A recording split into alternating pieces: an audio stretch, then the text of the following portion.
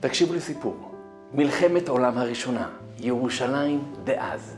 מצב של רעב, פחד, מוות. אנשים אין להם מה לאכול. משפחה אחת החביאה מטבע מאוד יקר שנקרא נפוליאון של זהב.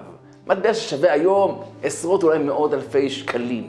הם החביאו את זה בבית, שחס ושלום, אם יהיה, הם ישלפו אותו. יום אחד אחד הילדים הקטנים מצא את המטבע. רץ למכולת וקנה לעצמו סוכריה מקל. האבא חוזר מהעבודה, והוא רואה פתאום, המטבע נעלם. הוא שואל את הילד, איפה המטבע? הוא אומר, לא יודע, אני קניתי אה, סוכריה על מקל. האבא השתגע, רץ למכולת, תפס את המוכר, תגיד לי, מה נסגר איתך? בואנה, הבן שלי קונה עם אה, נפוליאון מזהב, זה כל החנות יכול לקנות. אומר לו, חנווני, איזה, איזה נפוליאון מזהב? הוא שילם לי עם כמה אגורות. הוא אומר, שקרן, הוא שילם לך נפוליאון, הוא לקח מהבית, שילם לך נפוליאון. אומר בעל המכולת, מה פתאום? שילם לי עם אגורות. התחיל בלאגן, אנשים הגיעו, אמרו לבעל המכולת, תביא את הכסף, יא גנב! הגיעו למשפט. במשפט האבא ויתר לו שלא יישבע לשקר, כי הוא בטוח שהוא משקר.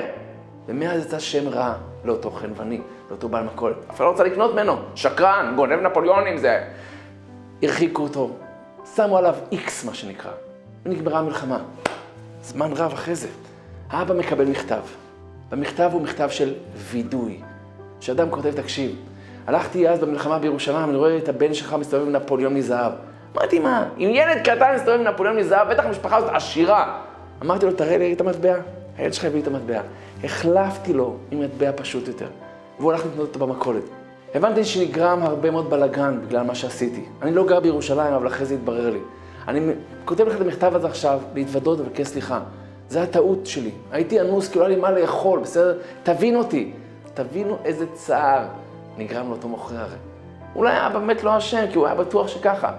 אבל תחשבו כל אותם אנשים מסביב, שציירו אותו, ירדו עליו, קפצו למסקנות.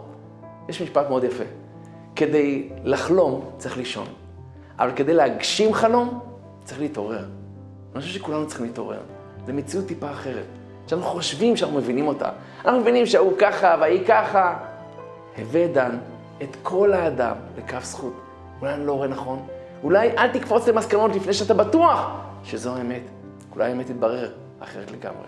בהצלחה.